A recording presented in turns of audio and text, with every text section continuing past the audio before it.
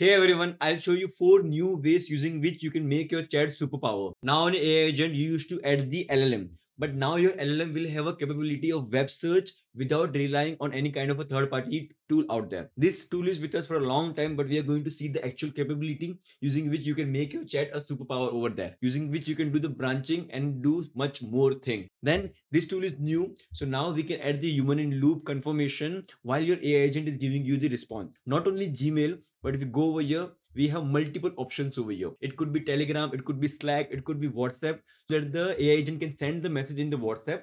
You can reply over the whatsapp then AI agent will give the response to the chat. Now we have a derivative of this respond to chat as the tool part of the AI agent so that you can send a message to a user that you are collecting the answer while your AI agent is working in the backend and collecting the answer and then giving the response. It's more of a making your chat more engaging to a user than your user waiting for a long amount of time for the answer. So now let's first come over here and send the hello.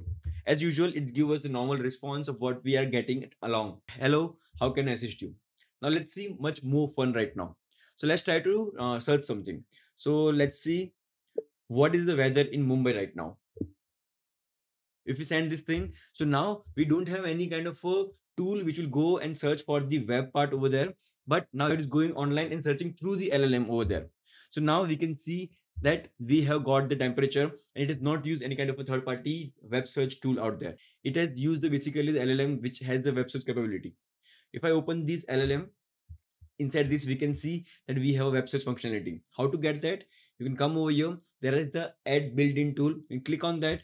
Then you'll be seeing this web search functionality. Not only the common web search functionality, but you can add your own website over here. If you come over here, if you select the web search allow domain, you can add your website over here.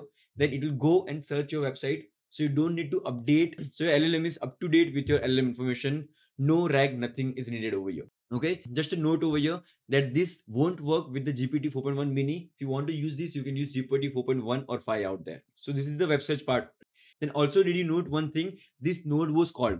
What it did? So when we were asking the question what is the weather in mumbai right now? It gave the answer as i am checking the current weather in the mumbai for you so that the user get a feedback that your AI agent is working properly. Now if i open this and inside this we can see that we are given a description that send a message to chat and do not wait for a response just keep going now we have disabled this wait for user response. And in the message, we are letting the AI give whatever message they want to say it. Okay, if we had turned on this wait for user reply, so if there is some kind of a confusing answer that the user is not able to answer, it will wait from the user input, then it will give the answer.